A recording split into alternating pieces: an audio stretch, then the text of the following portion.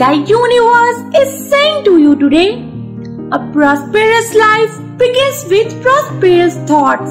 The key to happiness is to think happy thoughts.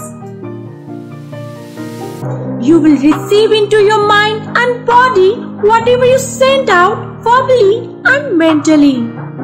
You can create the life you want. It's a time to get started today. Don't waste any more time. Let's say yes instead of no. Welcoming new opportunities, challenges, and experiences with open arms is the best thing you can do.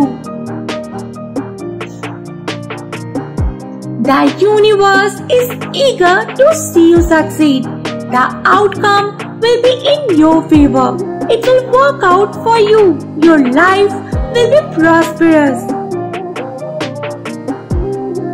Now is the time for payback. The universe gives you back all the losses you have suffered.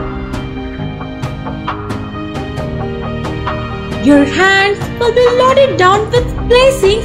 You won't come out empty handed. If you believe, type yes. Stay positive, stay happy.